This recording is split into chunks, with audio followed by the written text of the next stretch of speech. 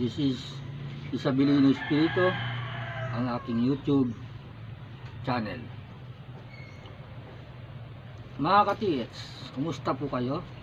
Ito po ang, ang gagawin po natin ngayon dito sa vlogs na ito ay ang paggawa ng dowsing ng dowsing o L-rod na tinatawag.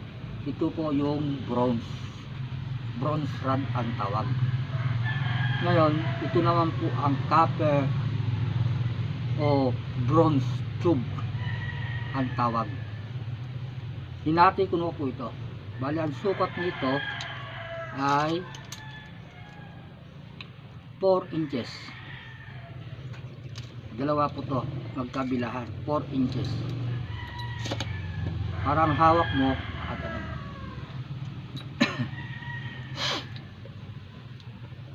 Ah, ito po. Shoo. Ang una po natin gagawin ay kumuha po tayo ng pliers. Yan ang unyo pong ganon.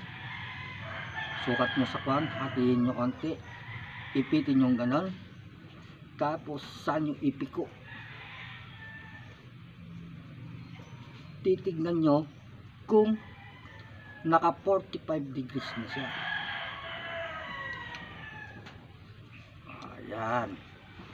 Saan nyo ipasok ang bronze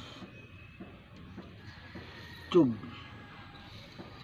Ito na yung handle niya. Pagdating dito sa handle niya, kunin nyo rin na naman ang plies. Pasok nyo na naman siyang ganon. Ilagay nyo ganon.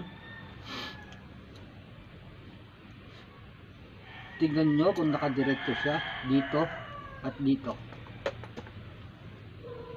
Nyo, pick nyo na naman. Tulong nyo dito sa may ah, tuhod. Yan. Bali 45 na siya. Ngayon, ang tanong naman ng iba, ano daw ang sukat? Ang sukat nito sa akin ay pag hinawakan ko, sasakto lang ho dito. Para mapaikot ko siya. Ito lang po ang sukat.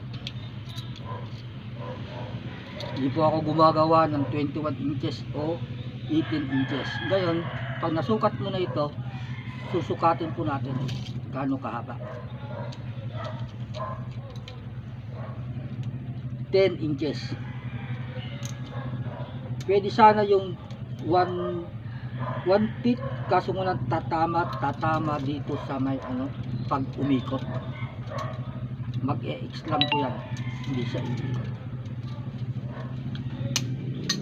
kaya gawin po natin 10 inches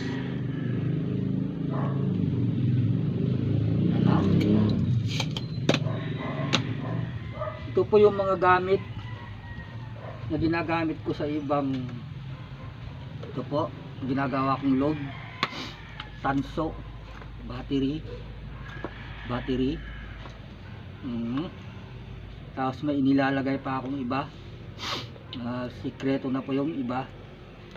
Nasa inyo na po kung lalagyan nyo po ng gold o ano. Pero dito sa dowsing rod wala pa akong load. Ito lang siya. Oh. bali ito na siya. Ito po yung lagarin natin. Lalagarin natin ngayon. Lalagyan muna natin isa tapos gawa muna tayo ng isa ulit dito sa kabila. Pasok natin yung tube. Pero bago natin ipasok kuha kayo ng long nose para parehas yung bilog paikutin para hindi po sumayad kakalog. Parang lumulundag-lundag. Lagay natin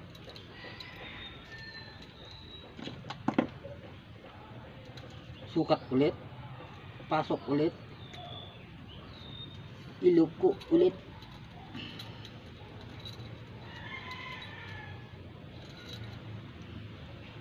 Tapos lagay yung handle pasok ulit ang plies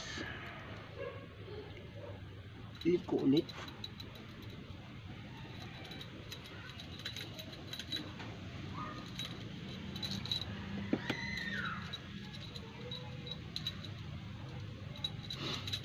Yan na po yung kwan natin. Isang bronze lang ho yan. Kaya ang gagawin na lang ho natin dito ay hahatiin na lang natin gawin natin dalawa. Mula dito, sukatin natin hanggang dito. 20 cm ay 51 o 20 inches inches magiging 10 sakto siya Yun yung sukat natin kanina. Yung pinaglagarian natin kanina.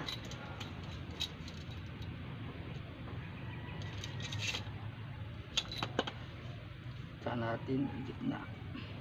Sakto saktong 10 10 10 hati hati wala pong nasayang pag 18 inches po kasi ang bali mabibili nyo dalawa pong rad pag ang 10 inches ang po kasi isang rad lang may dalawang dowsing ka na. Yan na po ang dowsing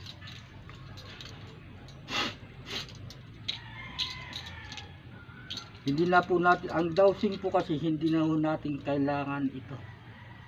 Kasi ito na siya. At ito na siya. Ang kailangan wala nang kailangan kundi ang magsuot ka na lang ng singsing na gold. Yun na paano po gamitin? Huwag po ganyan kundi nakababa. Pag ganyan po siya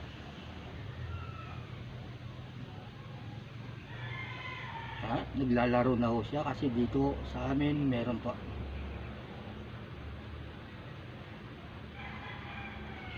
Ah, yun na po. Yung tinuturo. Ah, yun na po. Tinuturo. Ito po tapos na po tayo sa dowsing ipapakita ko po yung iba kong gawa. Ito po yung locator natin na binibenta natin o ngayon gumawa na lang po kayo para libre naman na ho. Madali na lang po gumawa. Ito ang handle nito ito papasok mo lang sa sa loob. Pwede nang iganon dito mo naman na ilalagay yung power load na sinasabi ng iba na gustong mangbuli. Ah, ang power load dito mo po ilalagay.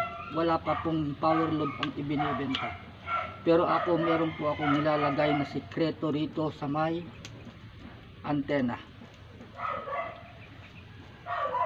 Kanya-kanya po sikreto. Yan kung bakit napapagalaw ng ibang tao at kung sa kanila hindi napapagalaw. Ito po yung sikreto.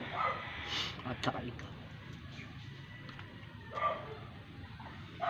At ito na po yung isang pag wala po kayong pambili ng bearing ang gawin po natin ay itong bronze rod.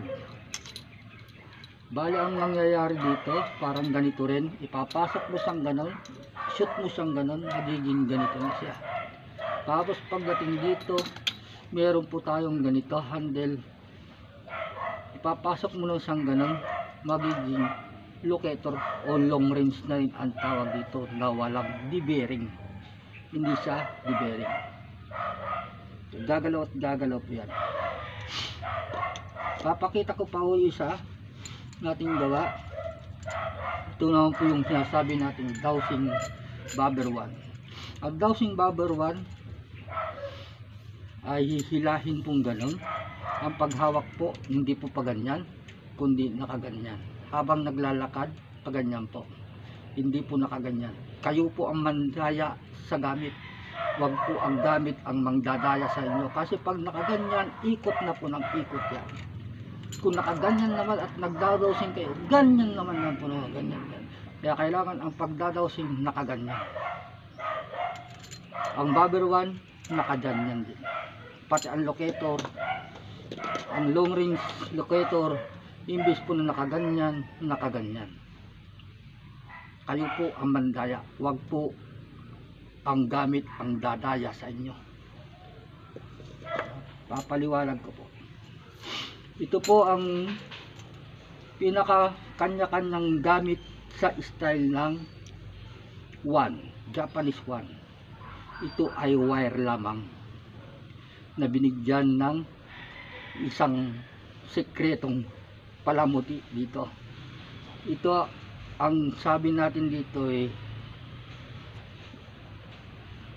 ang tinatawag